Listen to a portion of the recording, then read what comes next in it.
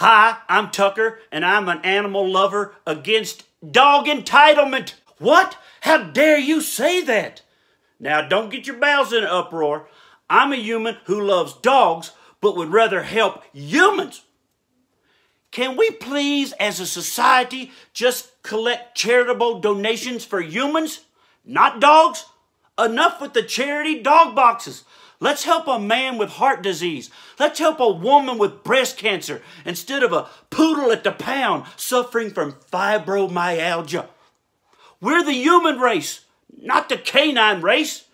The only canine race that interests me is the Iditarod. And I love and respect watching bird dogs with their owners trained and happy, doing what is best suited for them as dogs. Hunting, racing, catching. Did you notice a theme here? Iditarod, hunting, dogs, frisbee dogs. They're all out in a field, not in a restaurant with humans. They're crapping on the floor, stinking up the place. Stop with taking your dogs to restaurants. We don't have the right to smoke a cigarette in a restaurant, but yet the dog has the right to shit right there next to me while I'm eating.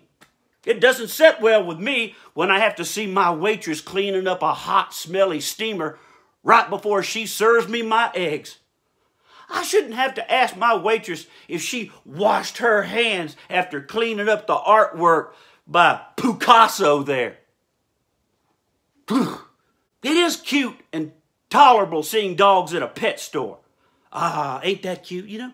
Okay, notice another serious sense of logic here. Uh-huh.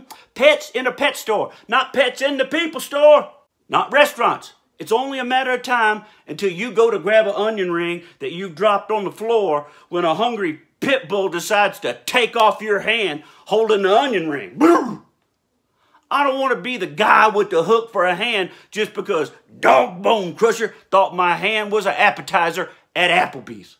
We, as animal lovers, should allow dogs in two spots the pet store and the dog park. That's it, period. You know, if they go into a restaurant and I see a dog, I'm leaving. If I go into a business collecting donations for a dog instead of a human, I'm leaving. They're not getting my business until they make it their business to help people. People, not dogs, people. Now, I hope I didn't piss off too many dog lovers. You know I love you all. I do, I love you. Now go pop a top on a cold one. Put on a real country album and I'll, I'll see you down the road, road ragers.